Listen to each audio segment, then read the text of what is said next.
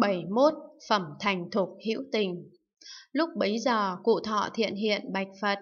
Bạch Thế Tôn, nếu Đại Bồ Tát tu hành bố thí ba la mật đa, tu hành tịnh giới an nhẫn tinh tấn tịnh lự bát nhã ba la mật đa, an trụ pháp không nội, an trụ pháp không ngoại, pháp không nội ngoại, pháp không không, pháp không lớn, pháp không thắng nghĩa, pháp không hữu vi, pháp không vô vi, pháp không rốt giáo, pháp không không biên giới, pháp không tàn mạn, pháp không không đổi khác, pháp không bản tánh, pháp không tự tướng, pháp không cộng tướng, pháp không tất cả pháp, pháp không không chẳng thể nắm bắt được, pháp không không tánh, pháp không tự tánh, pháp không không tánh tự tánh, tu hành bốn niệm trụ, tu hành bốn chánh đoạn, bốn thần túc, năm căn năm lực, bảy chi đẳng giác, tám chi thánh đạo,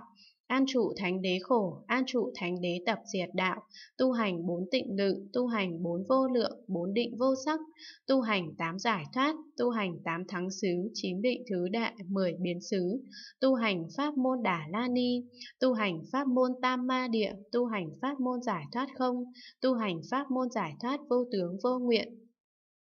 tu hành bậc cực hỷ, tu hành bậc ly cấu, bậc phát quang, bậc diệm tuệ, bậc cực nan thắng, bậc hiện tiền, bậc viễn hành, bậc bất động, bậc thiện tuệ, bậc pháp vân, tu hành năm loại mắt, tu hành sáu phép thần thông, tu hành mười lực Phật, tu hành bốn điều không sợ, bốn sự hiểu biết thông suốt, đại từ, đại bi, đại hỷ, đại xả, mười tám pháp Phật bất cộng, tu hành ba mươi hai tướng đại sĩ, tu hành tám mươi vẻ đẹp phụ thuộc, Tu hành pháp không quên mất, tu hành tánh luôn luôn xả, tu hành trí nhất thiết, tu hành trí đạo tướng, trí nhất thiết tướng, tu hành tất cả hạnh đại Bồ Tát, tu hành quả vị giác ngộ cao tột của chư Phật, tu hành đạo Bồ Tát, mà chưa viên mãn chẳng đắc sở cầu là quả vị giác ngộ cao tột, thì Bạch Thế Tôn làm thế nào Đại Bồ Tát tu đạo Bồ Tát được viên mãn, có thể chứng quả vị giác ngộ cao tột. Phật dạy, này thiện hiện, nếu Đại Bồ Tát tu hành bát nhã ba la mật đa, phương tiện thiện xảo, khi tu hành bố thí ba la mật đa, chẳng đắc sự bố thí, chẳng đắc năng thí, chẳng đắc sở thí, chẳng đắc việc làm ấy, cũng chẳng xa lìa các pháp như thế mà tu hành bố thí ba la mật đa, thì Đại Bồ Tát ấy có thể viên mãn việc tu đạo Bồ Tát, này thiện hiện, nếu Đại Bồ Tát tu hành bát nhã ba la mật đa phương tiện thiện xảo, khi tu hành tịnh giới an nhẫn tinh tấn tịnh lự bát nhã ba la mật đa, chẳng đắc tịnh giới an nhẫn tinh tấn tịnh lự bát nhã, chẳng đắc năng tu, chẳng đắc sở tu, chẳng đắc việc tu, cũng chẳng xa lìa các pháp như vậy, mà hành tịnh giới, an nhẫn, tinh tấn, tịnh lự, bát nhã, ba la, mật đa, thì Đại Bồ Tát ấy có thể viên mãn việc tu đạo Bồ Tát. Này thiện hiện như vậy, Đại Bồ Tát tu hành bát nhã ba la mật đa, phương tiện thiện xảo, tu đạo Bồ Tát khiến được viên mãn, có thể chứng quả vị giác ngộ cao tột. Này thiện hiện, nếu Đại Bồ Tát tu hành bát nhã ba la mật đa, phương tiện thiện xảo, khi an trụ pháp không nội, chẳng đắc pháp không nội, chẳng đắc năng an trụ, chẳng đắc sở an trụ, chẳng đắc việc làm ấy, cũng chẳng xa lìa các pháp như thế, mà an trụ pháp không nội thì Đại Bồ Tát ấy có thể viên mãn việc tu đạo Bồ Tát.